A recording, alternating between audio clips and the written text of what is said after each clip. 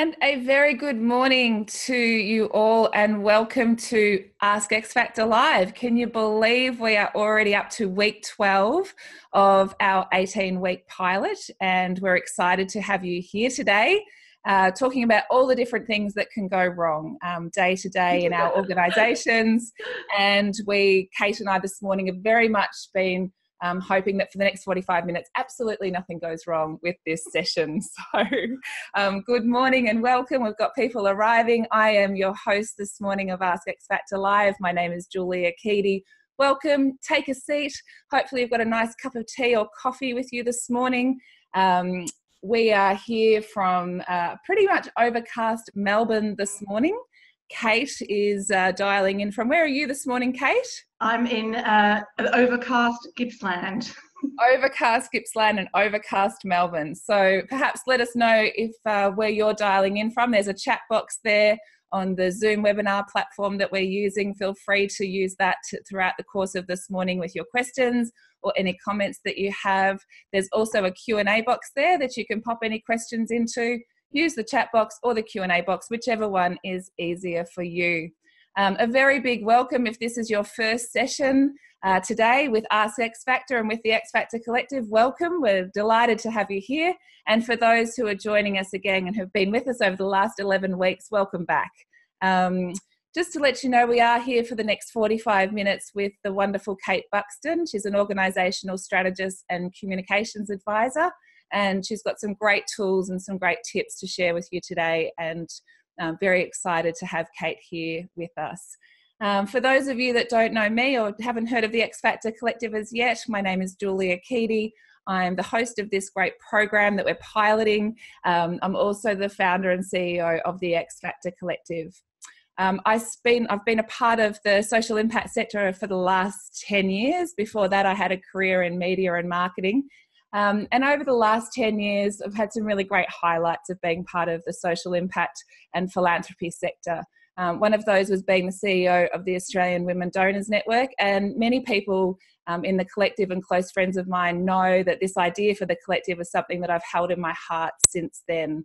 Um, I basically became an accidental consultant um, after Women Donors Network and spent seven years working with a really diverse range of people in the social impact sector individual philanthropists, community foundations, social purpose organisations, charities, social enterprises, government agencies, you name it. And also at that time, over those years, working with a number of consultants.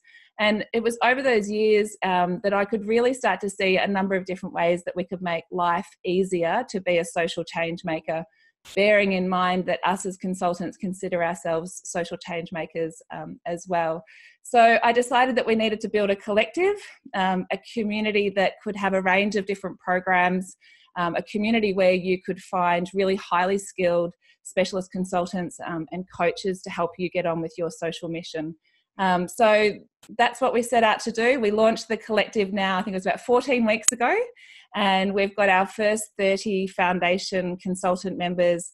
We're growing out to 100 members across 300 areas of specialisation, and just in an effort to make life easier for you um, to get on with you achieving your social mission. So, whatever it is that you need, whether it's something to do with partnerships or human resources or IT or strategy or your boards or fundraising, that you can just pick up the phone um, and come to the collective and find what it is that you need to get on with get on with the task. So great to have you here. Thanks for letting me explain that to you if you haven't heard that before. Um, before I introduce Kate, we are here for the next 45 minutes. We've got seven really great questions that we're going to be going through, and Kate's prepared some amazing tools to share with you. Um, as I mentioned before, please feel free to put your questions there in the Q&A or the chat box. We are recording the session today and very excited to show you throughout the course of the morning that our YouTube channel, The Exchange, has just gone live in the last couple of days. And all of the episodes and the questions from today's session will be available there for you to go back and watch again at any time into the future. Um, if for some reason your link drops out this morning, um, feel free to call back in on a phone line, and I'm just going to show that to you here. You can take a screenshot of that if you like.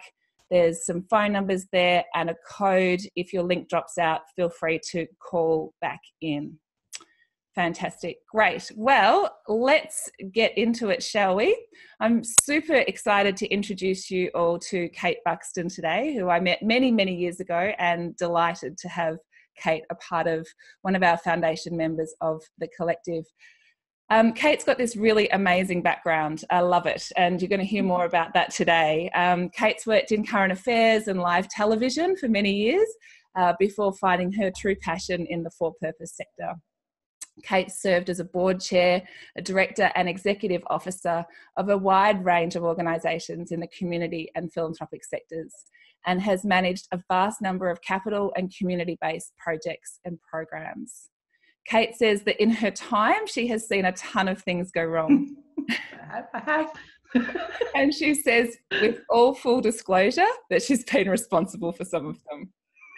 But learning how to better navigate and leverage the learnings from these so called failures has led to some fantastic outcomes for Kate. Kate, I'm so excited to have you here today. Thank Good you, morning. Julia.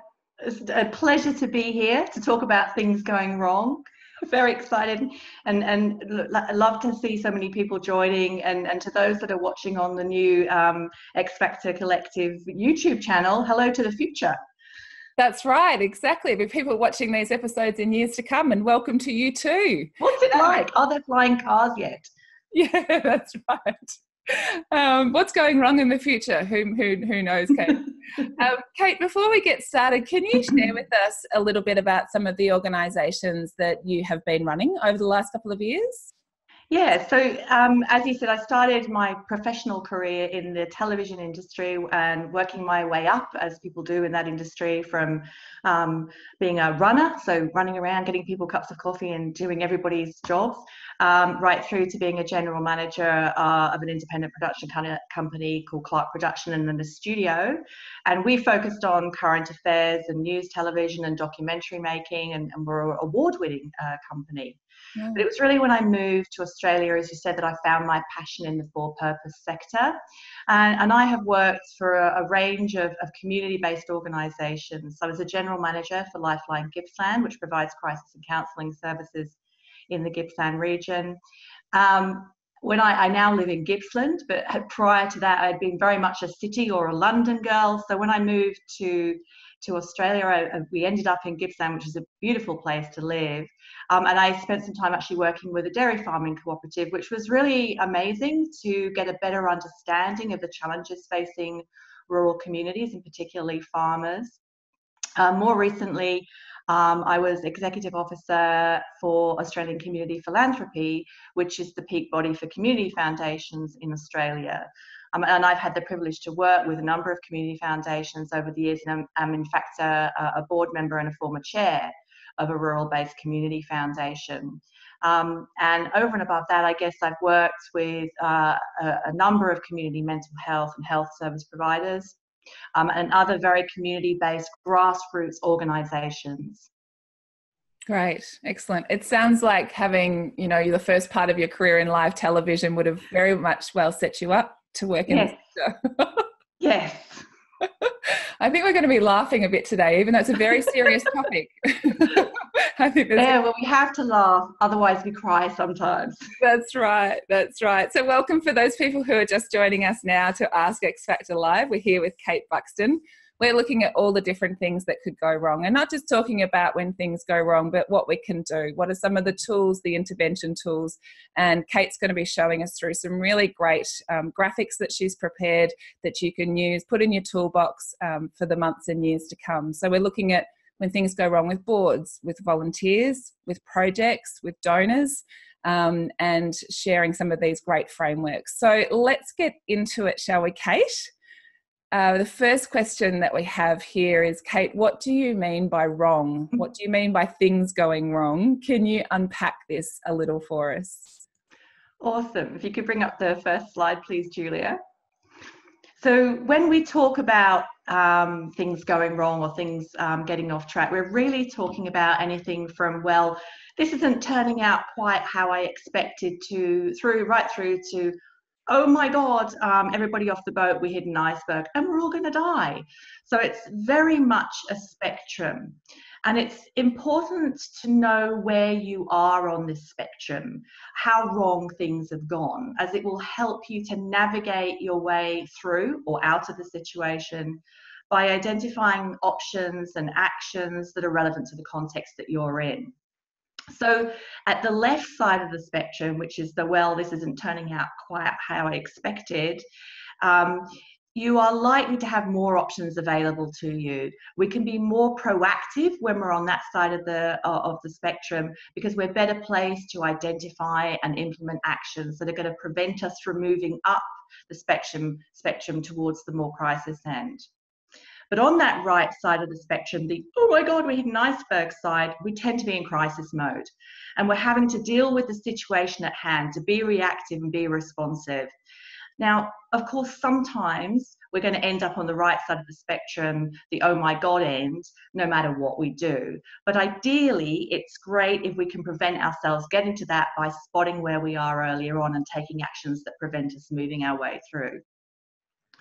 And my experience is that when things do go wrong, and things do go wrong, we know that, people often activate crisis mode. They go into that, that immediate situation, they go into crisis mode, regardless of the situation, which means they may be missing out on options that could resolve or address the situation or could prevent them, as I said, moving up. So I think when we're talking about things going wrong, it's really important to establish how wrong they've actually gone before we do anything else. And part of that process is being aware or alive to the signals and the red flags, and particularly the early, early warning signs. So if you could bring up the next slide, please, Julia. So obviously warning signs that things are getting off track that they're going wrong are going to be relevant to the particular context that you're in. But there are some general signs that we can be on the lookout and i've popped them here. So when things, when we, you know, we know we get that kind of tingly feeling in the back of our neck, that sense of mm, a bit of doom is creeping in. Um, and some of the signs, the early warning signs that we could look out for might be that we're behind schedule in our project or something that we're working on within our organization things are starting to take longer um, than anticipated to get going. We're getting a lack of buy in from our stakeholders, our staff, our volunteers, and perhaps our clients. We're getting requests for frequent. Uh, re- frequent requests for progress updates. People are getting nervous around us. That's an indicator of that. And we might be struggling to get people to come along to meetings to actually engage with us around the, the uh, project or program or the organizational context. Moving a bit further up the spectrum, we might see things like failing to meet our milestones or our targets, over or under budget. And people often focus on being over budget as, as a red flag or an indicator, but under budget can be just as much an indicator because it, it suggests that you're not getting started or we haven't started spending the money that we should be spending. You might see signs of stakeholder or client or customer dissatisfaction or unhappiness. You may struggle to get, having struggled to get people to meet to meetings, you may find that you also get people just not showing up. And you might see higher than usual volunteer attrition or staff attrition or even turnover. And if we're moving up again, and that's getting towards the more crisis end of the spectrum, the oh my God iceberg end, we can think that's when we're starting to think about things where we've really got no realistic expectation that our objectives are going to be reached. We may have lost our funding or our income streams. Uh, we may see stakeholder or partner withdrawal or key staff and volunteer withdrawal. And we'll also see people playing the blame game, which is where they're they're they're blaying off the, the reasons for it around them. So these are the sort of signs that, that it's a good idea that we can keep an eye out for if we're working on something.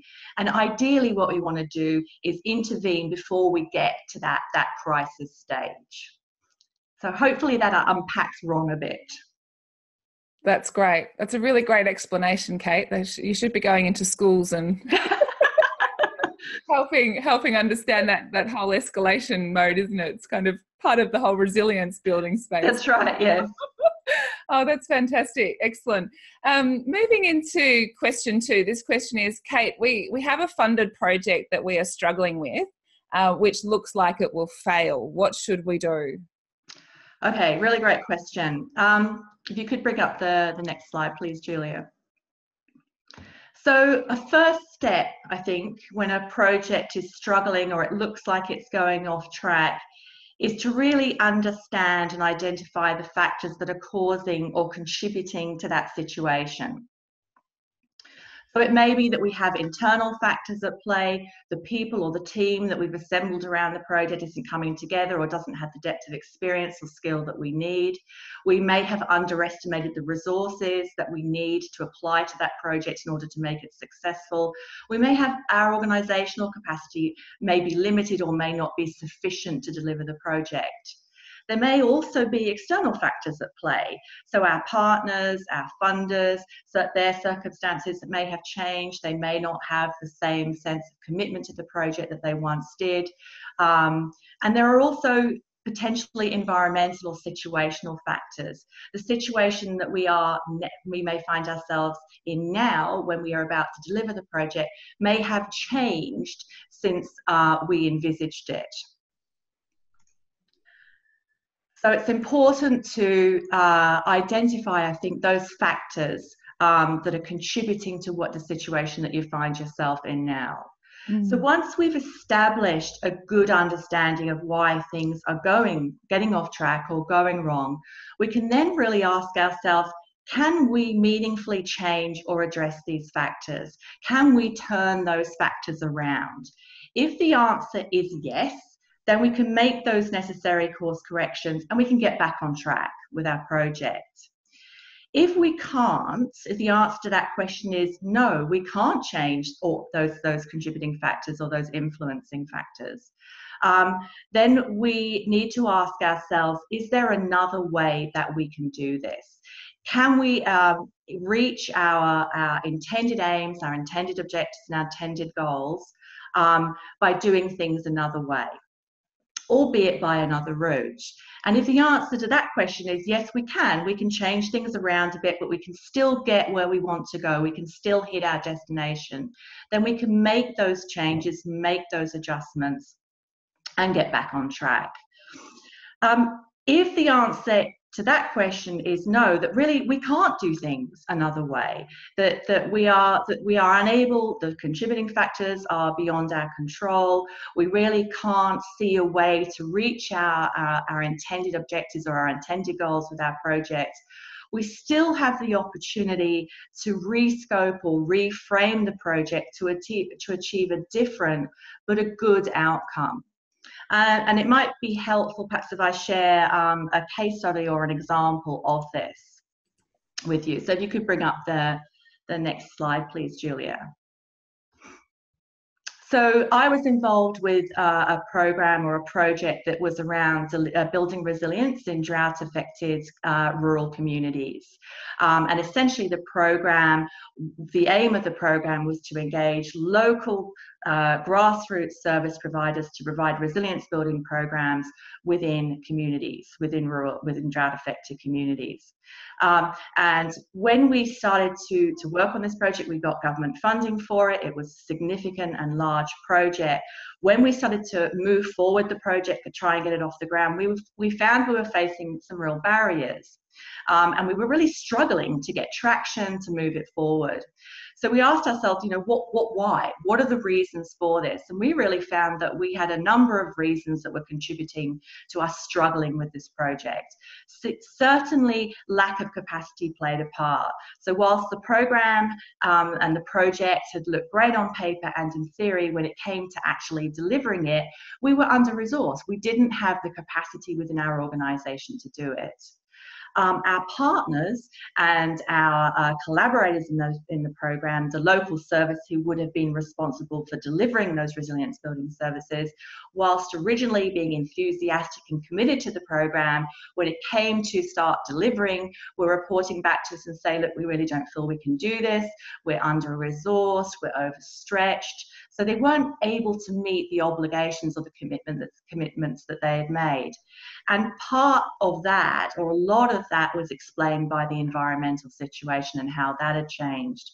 So the communities that we envis- uh, that we were hoping to deliver drought resilience programs within had been um, since um, approving receiving funding for the program had actually been impacted by bushfires. So they the community was was um, stressed by bushfires. The uh, organisations and the local services were stressed by the current situation, and it was very much our view that the project, in fact, would do harm rather than do good. So when we asked ourselves, can we change the contributing factors? Can we turn this around? The answer to that was no. Yes, we could increase our organisational capacity, but there was really nothing we could do about the environmental situation or the context that we were in. And then when we asked ourselves, is there another way that we can do this? Can we reach or hit or still meet our objectives as we've as we've identified them in the project proposal? And the answer to that was also no. And whilst we could achieve some of those goals, there was a sense that the project really could not be delivered as we'd originally envisaged it. And so we had the choice: do we pack up now and say no? Let this is just not a good idea. Not, not let's not do this um, and that would have been one option. But what we actually did is, after consultation with our partners, the funder, and the community, the project was rescoped with very different objectives and very different goals and achieved a very different but very good outcome. Mm-hmm. So, following that pathway through, we were able to navigate through those issues and those challenges and still achieve a really good outcome. You could bring up the next slide, please, Julia. Sure thing. And I think one of the reasons, excuse me, we were still able to achieve a good outcome with this project is because we took a really systematic approach using that framework that involved not just us as the backbone organisation, but all of our stakeholders, including the community. And we enlisted their support in resolving the situation and began by assessing what was going on, understanding what those factors were that were, were causing us to go off track.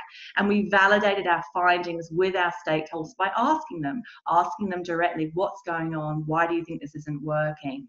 And we kept our stakeholders advised and informed and aware of what was happening throughout this whole process, rather than locking ourselves behind closed doors furtively you know, working away on why things were going wrong. We involved everybody in finding a solution. And we held off taking corrective action until everybody was on board. And once those actions, actions were in place, once we'd implemented the changes that we needed to make, we started that cycle again. We assessed whether they were working. We validated the, our, our thoughts and our findings with our stakeholders and let them know. And that was the cycle that we employed throughout the duration of that project to keep it on track. So hopefully that that mm. helps a little bit. That's fantastic. That last graphic there, Kate, you could almost just have that on the wall in your office, couldn't you? At any at so many points throughout the day, just to be able to have that as a refresh. You know what? Yeah. Absolutely. I mean, I, I, think that that cycle is is applicable to a situation that is, you know, that uncomfortable or where you're struggling or something's going off track, but it's equally applicable to a project that's working well. We always want mm. to be in a, in a learning cycle and to be informing how we're going and what we're doing by looking at all of those aspects and keeping people engaged within the context.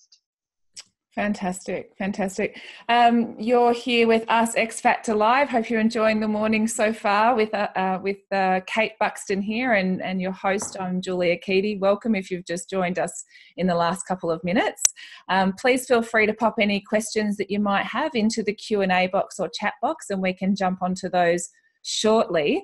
Um, let's move across to another question, Kate. Uh, you and I have both been in this situation, which is uh, running an organization, having a, a, board chair that you're working with, uh, working with a board, um, and you know, invariably things can go wrong. yes. at this point in time. So let's look at the perspective of CEOs um, and executive officers, and there's hundreds and thousands of people in these roles around the country. What what should an executive officer or a CEO do if their relationship with their board chair has become difficult? And and also secondary to that is and if the board start questioning everything that they're doing so let's unpack this a little bit, bit and if you could uh, pop up the next slide that'd be great julia So there are three, I think, main reasons for board or chair, CEO issues and conflict. And let's have a little look at each of these. Let's unpack them a little bit. Mm. So oftentimes conflict um, or challenge or issues, you know, where you get that, that tension arises as a result of confusion over roles. And specifically, often, because the line between the role uh, of the board and the role of the EO or the CEO has become blurred, and people are inadvertently stepping all over that line. Now, we all know that boards are supposed to be focused on governance and strategy, leaving the job of running the organization to the CEO. However, in reality, in real life, a clear demarcation between the role of the board and the role of the CEO is not always clear. Um, in smaller or younger organizations, a, a board may be very hands on, be very operational of necessity. But unfortunately, this blurriness, this, this murkiness of where the line lies can be a really fertile ground uh, for confusion and even conflict. Board may, members may be uh, expect to be involved in the minutiae, um, and CEOs or EOs may resent what they perceive as board interference, and then you can have a, a challenging situation. So if that sounds familiar to you, if that kind of resonates with you, if it's a role based issue, then a clear step is to really get some clarity around your role or around the roles within the organization of both the board and the CEO or the EO.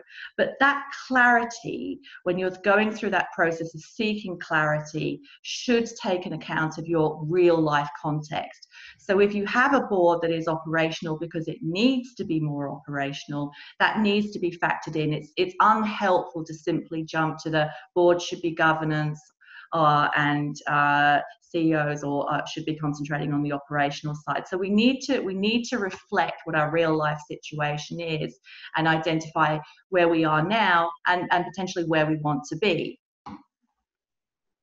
Great.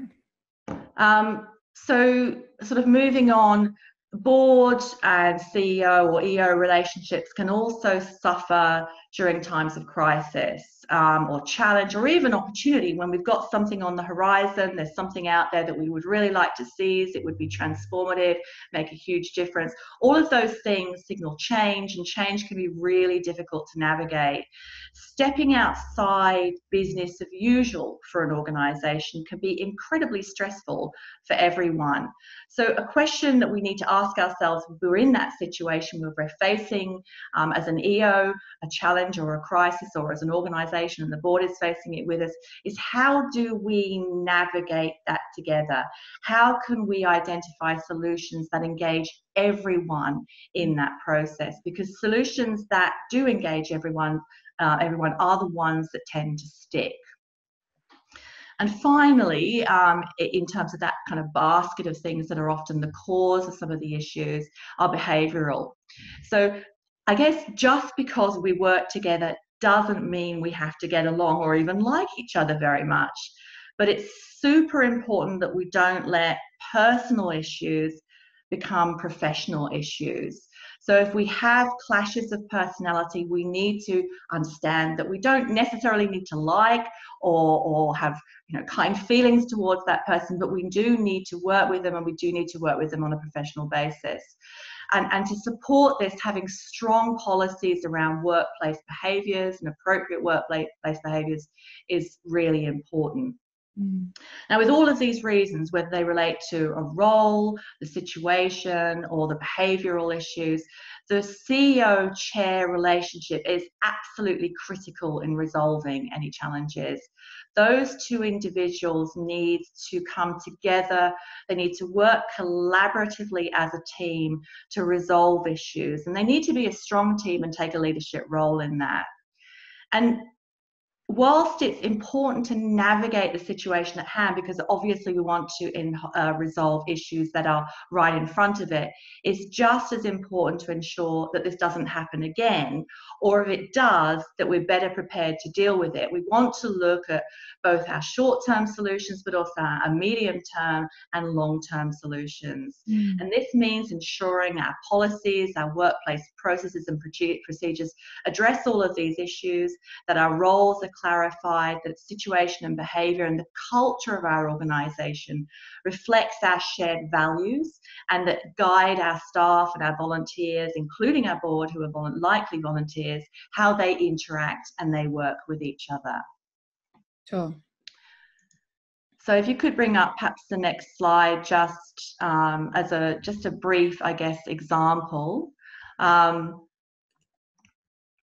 so as you you mentioned, um, the we have here an example of a very of a very small um, for-purpose community-based organisation. We have a hands um, on board rather than a hands around board. They are involved in the operations because they've got too much work, just one paid member of staff or two paid members of staff.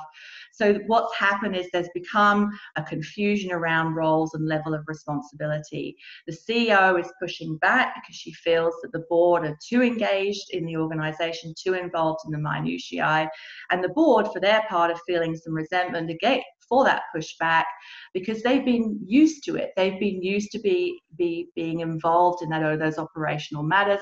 And once people are once and they have a CEO saying, no, you don't need to do that, their question is, well, why am I here then?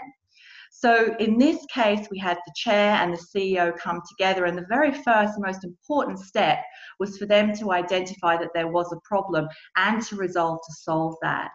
They work with the board to ensure collaboratively to ensure that everyone understood their roles and res- responsibilities and they expressed those in by updating position descriptions so they had documentation around that they did some board training so that people understood the role of a board and ideally what it should be and governance focused mm.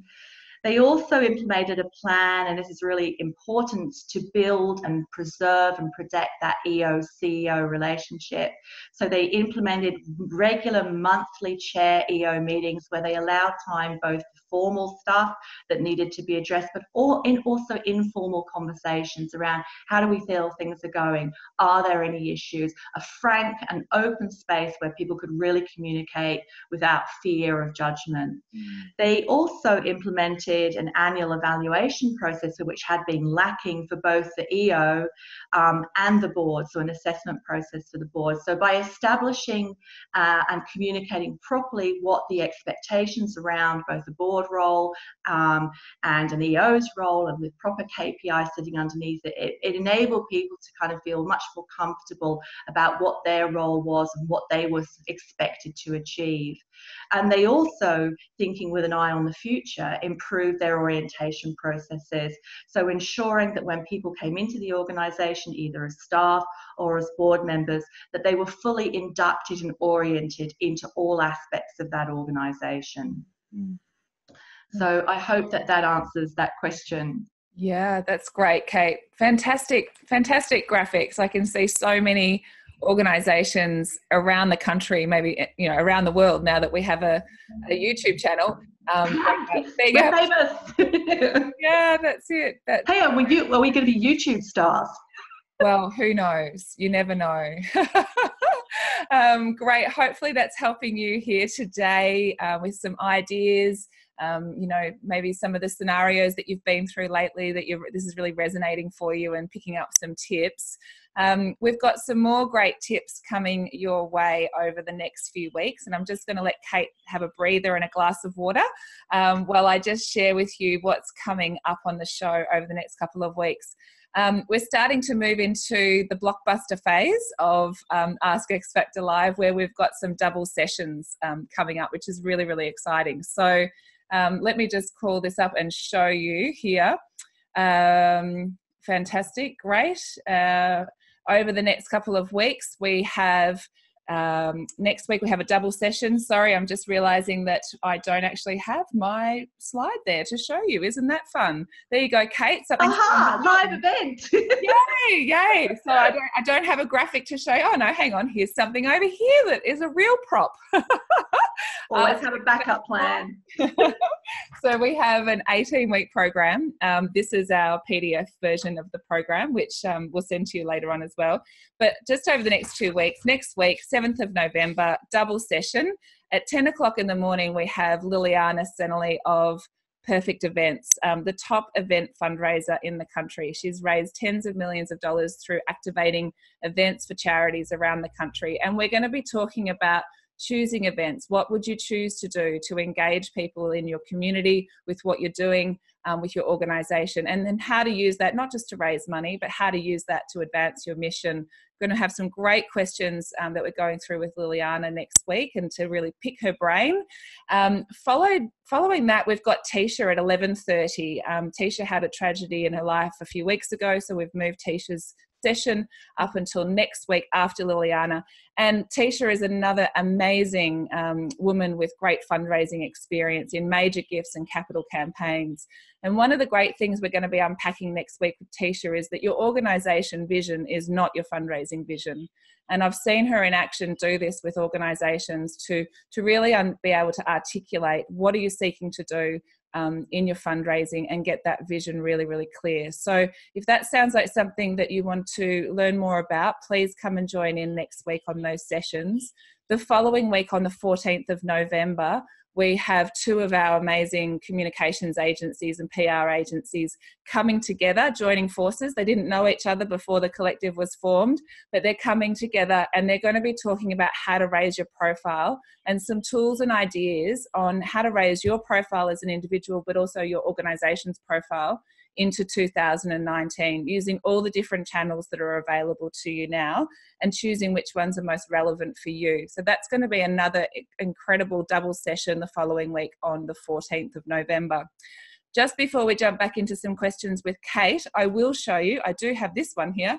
I will show you that we're very excited, and you're the first to be seeing this um, this week on the show is that our YouTube channel, The Exchange, uh, is live. Uh, you can go in there, you can subscribe. If you subscribe, you'll just get little notifications when new videos uh, are available. The first seven weeks of our Ask X Factor Live are there now for you. If you missed them or if you want to go back and refresh, there's 58 videos there for you to have a look at. And we're super excited to be exporting this beautiful knowledge that we have in the collective um, around the world and helping people get on with achieving their social missions. So, very excited to share that with you. And please feel free to share that with anyone else that you think that this content and this show will be able to assist. Back into some questions now with the wonderful Kate Buxton. Kate, we'd like to move across into talking about donors and funders, which we talked a little bit about before, touched on a little bit before. But this question is something that we've all had a little bit of experience with is what should you do when a donor is unhappy with your organization and threatens to withdraw their support? So another really good question, and, and obviously it can be a really challenging one, and and you know um, a bit terrifying if you're in an organisation and that happens to you. So um, I think it's really important to to start with unpacking you know where the donor is coming from on this and, and understanding their position. And i think a general rule to apply is that donors are not in the business. They don't want to give money. What they actually want to do is create impact Mm. And if a donor is unhappy with the organization, and a common one is, oh, we're spending too much, you're spending too much money on administration and not enough on doing good, mm. that signals that that we're not meeting their goals with respect to the impact that they want to create. Mm. So I mm. think an honest conversation is a really important starting point around what that donor's philanthropic goals actually are. And are we actually able to meet them? Mm. Now, obviously, ideally, we want to be able to meet them, but we may not be able to. There is the answer to that question is you know if that that donor's got a philanthropic goals differ significantly from what our organization is able to deliver then there may be a need for a parting of the ways that may be an, op- an option that we need to consider i'm not suggesting it's the best option um, and and ideally we want to always avo- avoid that but it is it should be on the table. I think as part of that honest conversation. Now, if we feel that there is a kind of misalignment between what the donor's philanthropic goals are and what we're delivering, sometimes that's around the fact that the donor is not we need to inform and make the donor aware of what we're doing um, and how we're doing it.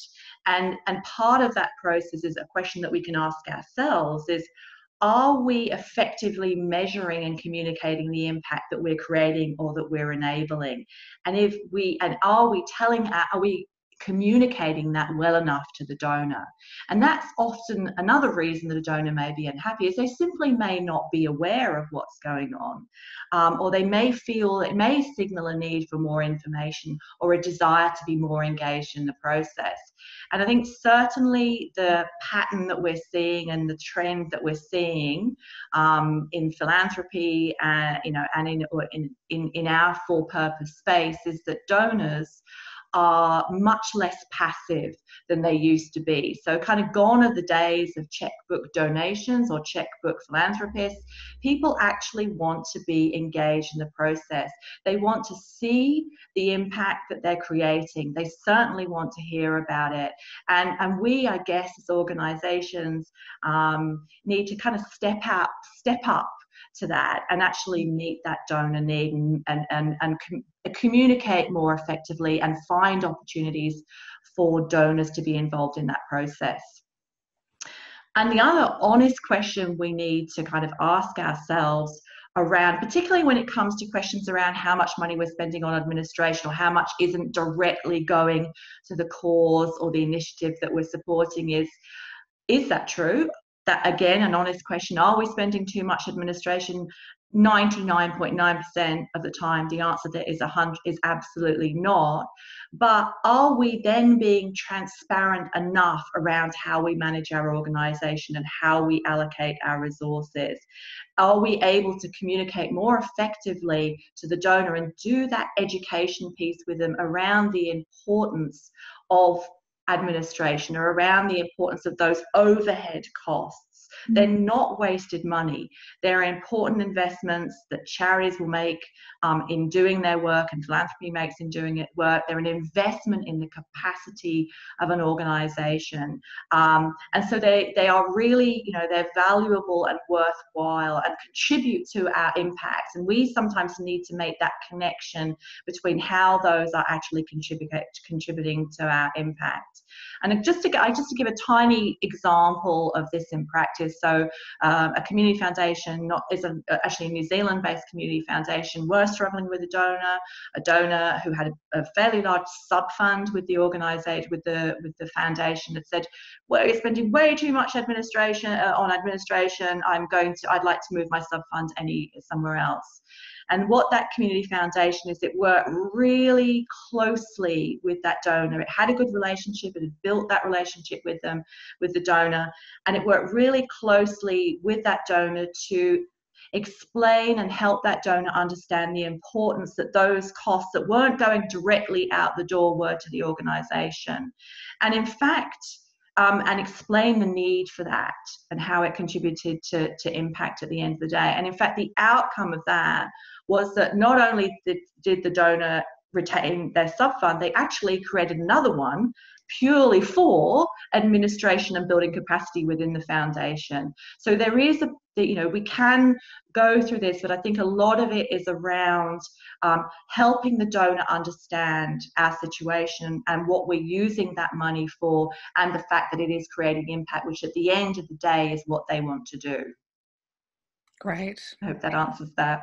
Yeah, fantastic. Thanks, Kate. That's just absolute gold and great example there of you know where where something even more magical comes out you know as an outcome isn't it? You know strengthening and deepening those relationships it's fabulous when you can when you know from something that that looks like it's going to be really significantly horrible you can get a really actually really great outcome. And uh, i don't want to overstate and say this is always the case but obviously there are times that we we navigate ourselves way carefully enough and kind of factor all those uh, elements in that we can come out with an even better outcome than we'd anticipated.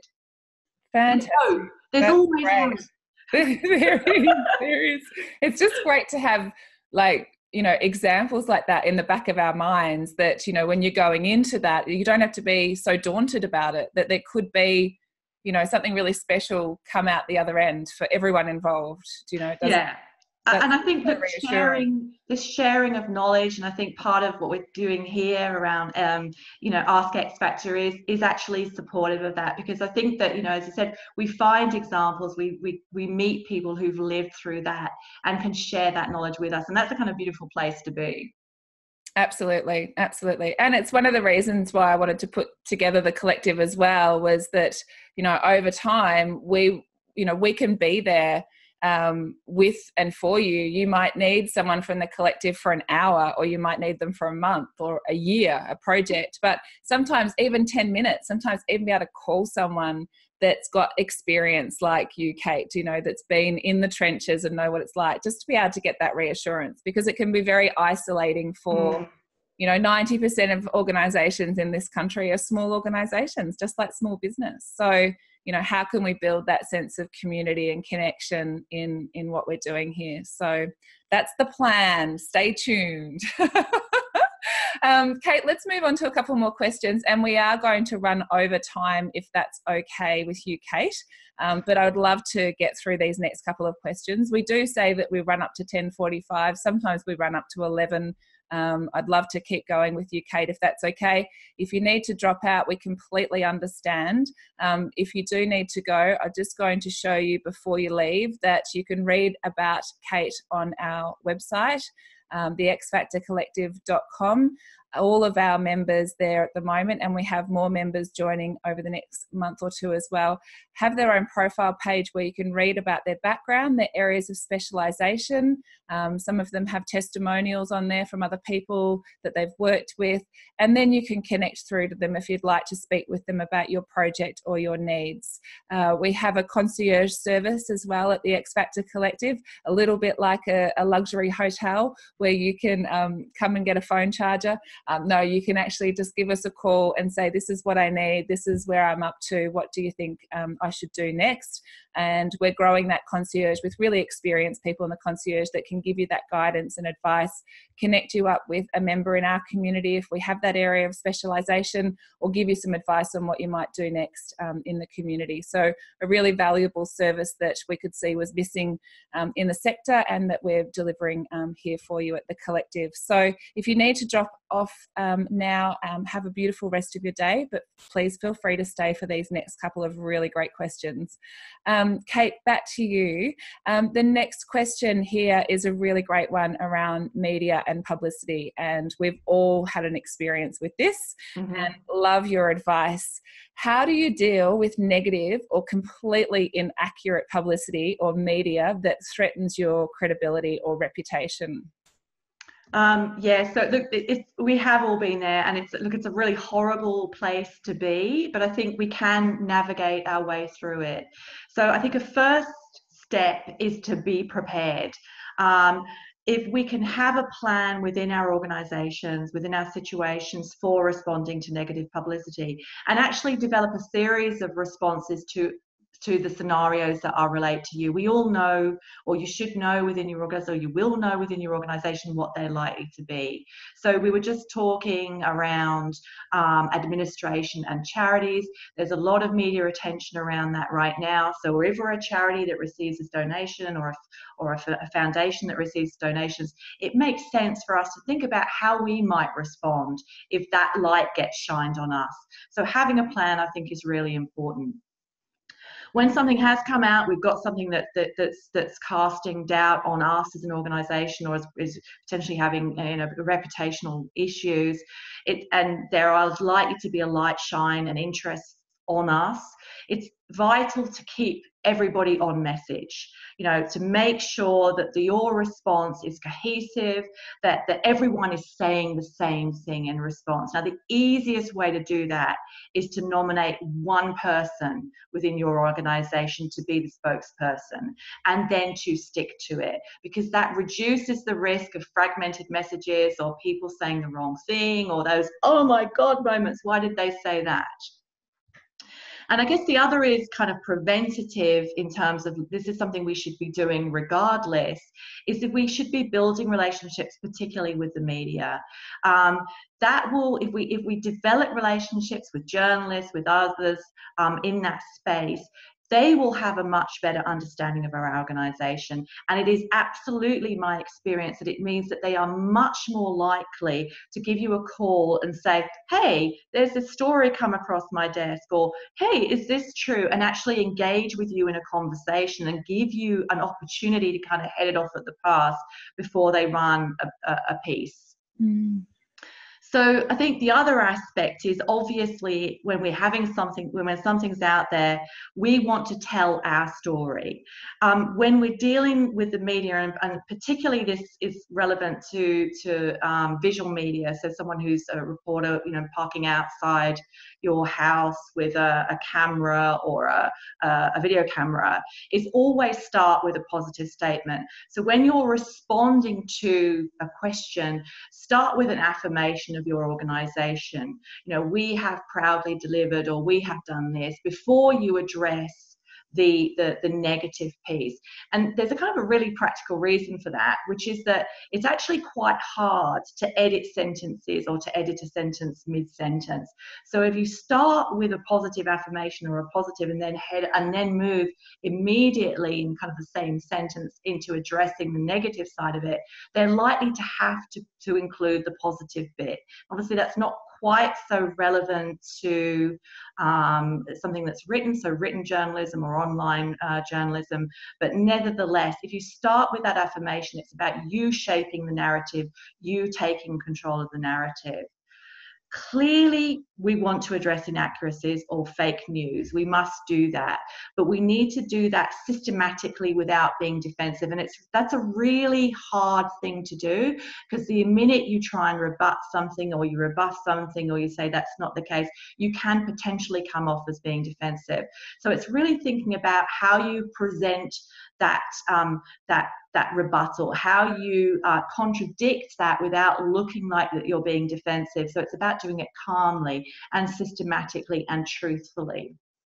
Another really important point is if there is a problem, if it's not fake news, if that there's actually a genuine issue that's being reported on, own it.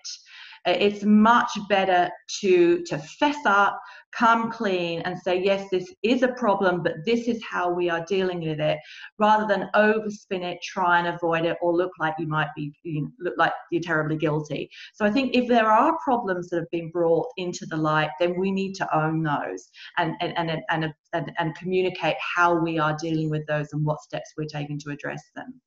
And another point, I think a sort of final point in this tell your story is don't feed the trolls. So when there's any kind of drama or when there's media or there's a light being shone on a particular aspect, people will want to make mischief. They'll come out, and particularly with an opening up of uh, participatory channels like Twitter um, and YouTube and others, people love to leave negative comments. They love to be there and, and kind of, you know, that they get they they, they get a kick out of it essentially. So be circumspect in who you respond to. If you're reading your Twitter feed and you're seeing all these negative comments, don't feel that you have to respond to every every one of them. Some you can safely leave, and particularly the troll-like ones that are really just seeking to to enlarge or amplify the crisis. And I guess my final point that is any in any kind of cycle um, where you you are facing you know negative media attention or negative attention is to ensure that you give people a heads up that it's coming and to keep, keep them informed as you're traveling it. So making sure that you communicate with your stakeholders to let them know that there might be something negative coming out, to let them know how you're addressing it, to reassure them that it doesn't represent your organization and keep them involved and engaged in the um, in the cycle as it progresses. So hopefully that that gives you some idea of or some tips and tricks to, to navigate those sorts of situations. That's fantastic, Kate. Some really great tips in there and some really great reminders as well. I think sometimes people think that um, you know they've got that covered. Yeah, mm. we know what to do. When you know we, we know all the journos and we know all of this, but just those little things like knowing who's going to be the spokesperson, getting everyone on that same song sheet. Such great reminders. Love that. Yeah, and getting look reacting as quickly as you can. I mean, there were a recent example of where an organisation was called into question, and there was some really negative mainstream publicity around it. Mm-hmm. That organisation was well prepared. You know, they you know they were in a space where they knew these sorts of stories floated around. The story was actually inaccurate, and they were able to be super reactive and get something onto their website immediately. And it was a brilliantly written piece that absolutely kind of, you know, really really changed the narrative around that. It was a really good example uh, of how to respond well in this sort of situation. Yeah, that's great. Thank you so much for that, Kate. Um, another area that, uh, well, we are live and we, we lots of things can go wrong um, in the world of being live.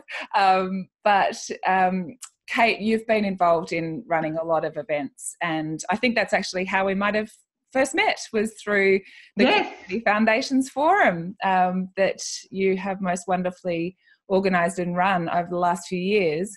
This next question relates to a lot of those experiences that you've had, which is what do you do if something goes wrong in a live event?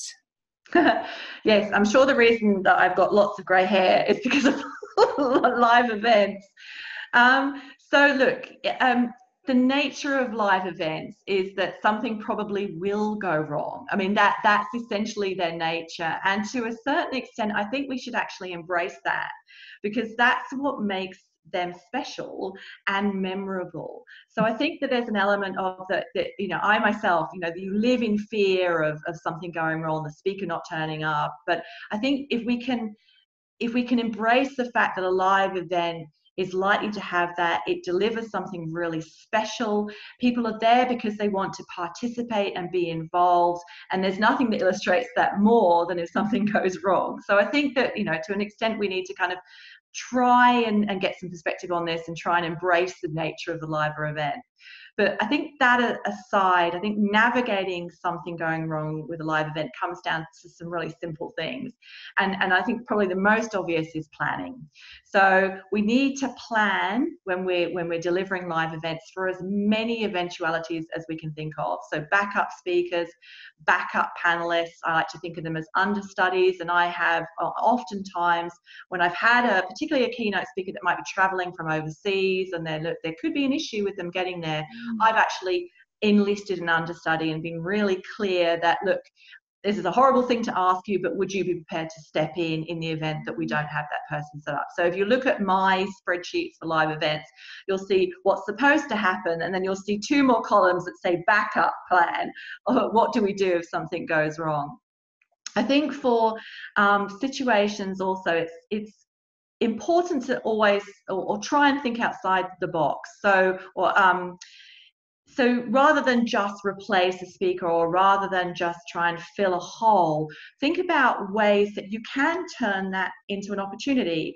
So, you know, in the event that a speaker's late and they're delayed, rather than having sitting everybody there twiddling their thumbs, kind of looking at their phones, throw a group, you know, have a room based activity, a get to know you, solve a problem, harness the collective experience and expertise of everyone in that room, get them involved because that will make it memorable and it will keep people engaged and they'll remember that bit of it rather than thing going wrong.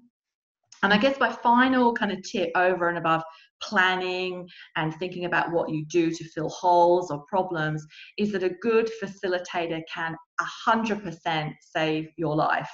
Um, so having, so I think that they're really, we, we often spend a lot of time when we're, and I know we think about facilitators, but we often spend a lot of time thinking about the panelists and the keynotes and those other bits, and perhaps a little bit less on the people that are going to hold all that and bring it all together as the facilitator or the host or the MC. A really good facilitator will, will, will help you enormously. I remember I was working um, when I was at uh, an organization organisation in the UK, we delivered a very major award ceremony every year. Um, and uh, one year in the film industry, and one year we had four award recipients not turn up. It was, I think we only had six awards, and it was awful. We were tearing our hair out, but we had a fabulous um, MC who made the whole thing into this huge joke. So, in fact, in some respects, them not turning up was better than if they had turned up because it was funnier and more engaging and the audience loved it. So, um, really think about who you've got on that stage, who's in the spotlight there and holds those threads together because they can really, they can really and truly save your life. Fantastic, excellent. Some really, some really great tips there, Kate, and and and and also I think on reflection is that we don't often hear about people talking about the understudy side of things and how you would how you would navigate that and have that conversation with someone who is fantastic at um, what they do and what they can deliver um, but being able to be you know open and honest honest enough to be able to take that approach. Um, it's it's really brave um, a brave approach practi- very practical um, but also having more dialogue about that in the sector as well that we can just make that something that's you know really comfortable for people to do. Yeah and look obviously um, it, if you're looking at that understudy approach of having that backup person, it's easier usually to do with a panelist because they can just come on. Yeah. Um, but with a, it's more difficult and challenging when you have someone who's delivering a, you know a significant bit of content as part of your event. But mm-hmm. oftentimes you've got people within your own family or organizational family that you are comfortable to have that conversation with. Mm. So if you have a board member or you have someone that you have a professional relationship and you, you know you're going to be honest you know it, look i hate to ask you this but it you know would you be prepared to have that in place and if you can find a way to use the content that they might develop and have in another way if they're not called on to understudy so much the better Absolutely. Yeah, great, great advice. Love that. Thank you, Kate. Um, we've got one final question here on volunteers, and then we're going to wrap things up. We are at 11 o'clock, but we're having so much fun, so we're going to keep going. This next question is something that so many people have on the, you know, on the on their lips at the moment, and it's around volunteers. You know, we constantly have questions to do with volunteers, and things can go wrong with our volunteers. So the question is, Kate, how do you get volunteers back on board after something has gone wrong? Mm-hmm. Um, yeah, and look, this is a, I mean, it's a, you know, many of our organisations, most of us in, in our sector are dependent on our wonderful volunteers who work tirelessly and hard. Um, and it's really important that you know we treat them with respect and that you know we recognize and acknowledge the enormous contribution that they make um, to so many people um, i think if you're struggling to get volunteers back on board after something has happened or that something has gone wrong it's really important to to own the issue or to acknowledge the issue, the thing, to identify what has gone wrong and then own and acknowledge it and be really open and honest around that. Um, and then a next stage is to involve the volunteers actually in the solution. So rather than saying, well, yes, this went wrong, but you know, we fixed it, it's much better if you say, well, yes, this has gone wrong. How do we fix it?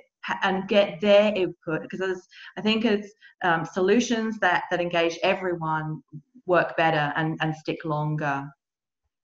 Um, and, and, I guess an example of this would be from my own, you know, experience where we had um, some some volunteers who were working in a very, um, they were responding to bushfires, so they were, and it was an unusual, it was not business as usual, it was an unusual situation, and the volunteers, you know, they they rose to the challenge, they were out there in the community supporting the community, you know, in a time of real crisis, but it created some real challenges for them, and they were really unhappy at the end of that. They felt that you know it had just been too much. Mm. Uh, and we had to say, you know, we had to, the first stage was for us to go, yeah, you're right, it was. Um, you know, it was it was very unusual circumstances, and we asked you to do something that we wouldn't normally, and you did it. Thank you. But perhaps on reflection, we should have done it another way. And then we engaged with those volunteers and have a very comprehensive process around what had happened, what their thoughts and feelings were. We gave them an opportunity to really share that important information and really, you know, have, have a go at us basically, which they needed to do. But we then moved to a positive space, which is how do we not, how do we, if this happens again, what do we do? How do we do this better or should we not do it at all? And so it was a very a comprehensive and cohesive process where we produced a report that was shared widely. It was a transparent process that engaged the volunteers and the organisation within it. Um, and I'm, you know, I'm proud that we did it that way um, because I think that it that at the end of the day, what it the, the outcome was a good outcome. Um, and I think, I guess, as a final point, is it's important to acknowledge that whilst our volunteers aren't paid, our relationship is still based on a contract. Um, which by the way should be a written contract. You should have a written contract with your volunteers in the same way that you have a contract with your staff members. Um, and that, that there are expectations on both parties, both the volunteer and the, the person who's engaging the volunteer, and those should be honoured. And I think it's really important that that that particularly in smaller organizations where there's sense is that we can't expect them to do that because they're a volunteer or they can not show up and that's okay because they're not paid. That actually isn't the case. The volunteer is wonderful and and they're giving of their time but they are also getting something in return which obviously should be part of that arrangement. Mm-hmm. so it's really important that that we acknowledge that that this is a relationship that has obligations on both sides uh, and we need to sort those through that's a great, great reminder, Kate. And I love that part about involving them in the solution. I think, you know, we sometimes forget that, don't we? We sort of come up mm. with the solution, we we go to that debriefing session or that meeting, and we've already got the solution to offer. But um, how much more you can um, evolve that relationship by actually um, involving them in the solution. We often forget that in a lot of different parts of our work. That's a really great reminder. I'm taking that one for the rest of my week. um, now, before we wrap up, and we have gone really over time today, but how, why not? These are really great questions um, that are going to help so many people here today and also into the future. Uh, we will have all of these questions cut up into little bite sized episodes live on our YouTube channel, The Exchange, um, in the next couple of weeks for you. But, Kate, just while we wrap up, um, I'd love to hear your thoughts around, you know, caring, looking after ourselves, um, the, the importance of self care when things go wrong. What are your thoughts on that? Um, well, I think it's excuse me, absolutely vital. I mean, I think that you know when things go wrong, it's stressful. Um, we're working hard. I think that it's it's absolutely vital during that process that we do, as you said, look after ourselves that we and that means we need to get some perspective or we need to keep perspective and we need to put in place some measures that protect us as individuals against the kind of vagaries of what's going on around us. Mm-hmm. um, and that means taking some you know some some steps that we would normally take um, and not or if we're already taking them not keep observing them. So eat healthy you know do the exercise that we need to do. She says never doing exercise but we'll leave that one to another day. Um, you know look after yourself you know get plenty of sleep. I think connecting with your peers you know sh- having someone to talk about the situation. And obviously, sometimes that can be challenging if we're talking confidence, confidentiality, and privacy. But actually, having someone that you can talk honestly and openly, openly about the situation that you're facing with is really important. It, within the counselling profession, you know, there is such a thing as supervisors, so counsellors can go debrief with a supervisor. It's a confidential arrangement, um, and it's a really important, good process. And I think we should probably adopt more of that within our environment. I mean, I've seen um, people emerge, you know, EOs, CEOs, board members, um, staff uh, emerge from difficult situations where things have gone wrong, where their confidence really um, suffered. You know, it's taken them a long time to really get back on their feet. So it's really important that we do look after ourselves um, through that process. And as I said, getting some perspective on it is really important. Mm, mm, absolutely, absolutely, and and it's important to us here at the collective as well as we're building out the collective. Um, yes, we have people that can help you with all of those hard skills, but we're also building out the whole soft side, the whole holistic side of what it is to to be in you know running an organization to be um, you know pushing forward a social mission in life so you know, last week we talked about money mindset and some of our money stories and the way they can hold us back in achieving what we're, you know, looking to achieve.